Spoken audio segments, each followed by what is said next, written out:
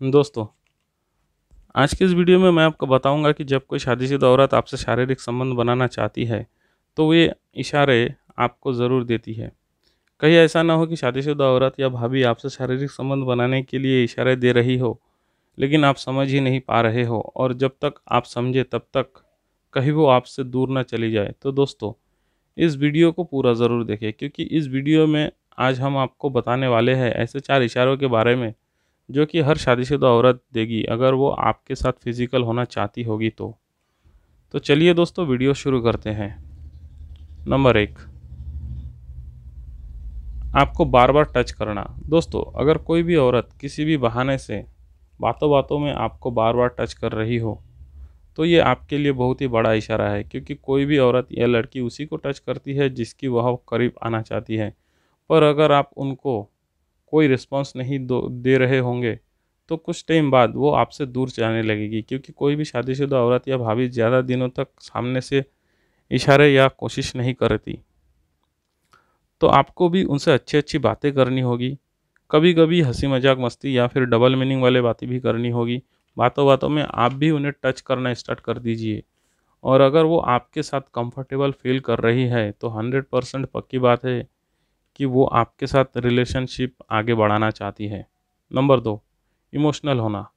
अगर कोई भी औरत आपसे उनकी सारी परेशानी बताती हो या फिर उस बात से दुखी होती हो कि उनका पति उनसे प्यार नहीं करता, वह हमेशा अकेलापन फील करती है। अगर ऐसी कोई भी बात वो आपके सामने करे तो इसका मतलब यह है कि वो आपका प्यार पाना चाहती है। दोस्तों, हर एक औरत, हर एक औरत को फिजिकली संबंध की बहुत ज़रूरत होती है। और ऐसे में अगर उनका पति उन पर ध्यान नहीं देगा तो वह औरत किसी और को ये इशारे देगी। और आपको अगर ये इशारे देती है, उन्हें सपोर्ट करिए, उनके साथ रहिए, उनसे प्यार करिए। जब आप किसी औरत के साथ एक बार फ़िज़िकल हो जाएँगे तो वो फिर हमेशा आपसे प्यार करेगी। दोस्तों, अगर कोई भी औरत आपके सामने इमोशनल परेशान होती है तो उस टाइम आप उनका हाथ पकड़ सकते हो। आपके साथ आपके हाथ पकड़ने पर से अगर औरत कंफर्टेबल है तो हंड्रेड परसेंट आप उन्हें गले भी लगा सकते हो। इससे वो बहुत ज़्यादा आपके करीब आ जाएगी। नंबर तीन रिलेशनशिप की बातें करना। कोई भी भाभी या औरत आपके साथ ऐसी बातें करती है, जैसे कि आपकी पहले कोई गर्लफ्रेंड तो नहीं है, या फिर आप किसी से, किसी के साथ रिलेशनशिप में तो नहीं हो तो इसका सीधा मतलब यह है कि आपके साथ वह संबंध बनाना चाहती है। इसीलिए वो जानना चाहती है कि आप किसी और से प्यार करते हो या नहीं। तो आप उन्हें इस तरह का जवाब दीजिए कि नहीं भाभी, मुझे सिर्फ़ आप जैसी लड़की चाहिए। आप जैसी मुझे अभी तक कोई नहीं मिली।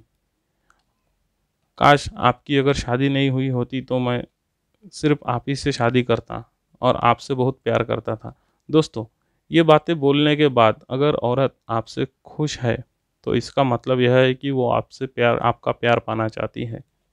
नंबर चार, आपसे घंटों बातें करना। दोस्तों, क्या आपको पता है कि शादीशुदा औरत किसी ऐसे इंसान के साथ बात करना भी पसंद नहीं करती, जिसे वो नापसंद करती हो? या जो इंसान एकदम अजनबी हो, पर अगर कोई औरत आपसे हर बार सामने से बात करने की कोशिश करती है या आपसे बात बात, आपसे बात करते करते उन्हें बिल्कुल भी टाइम का पता नहीं चलता है तो वह आपको बहुत ज़्यादा पसंद करती है। अब आप भी उनसे मज़ाक करिए, जिससे कि वो भी आपसे जल्दी से जल्दी घुल मिल जाए।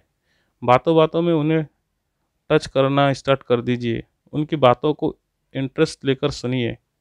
कभी कभी उनकी तारीफ़ करिए। आपके ऐसा करने से औरत बहुत ज़्यादा खुश होगी और उनके इन इशारों को आपको भी समझना होगा।